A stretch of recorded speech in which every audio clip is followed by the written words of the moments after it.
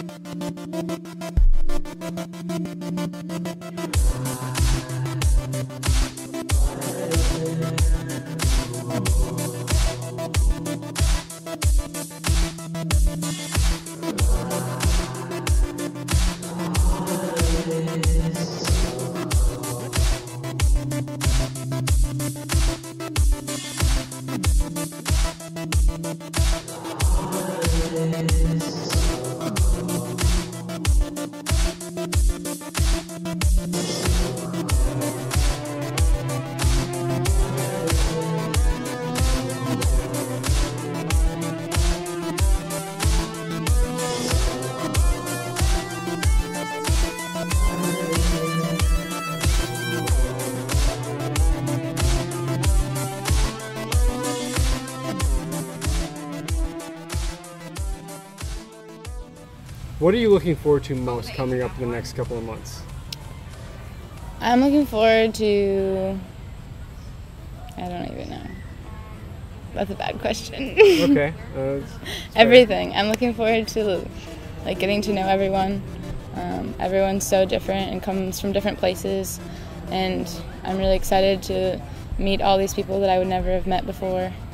Um, I'm excited to be excited to learn, if that makes sense. So I don't know, learning interesting things and learning without knowing you're learning. It's pretty cool.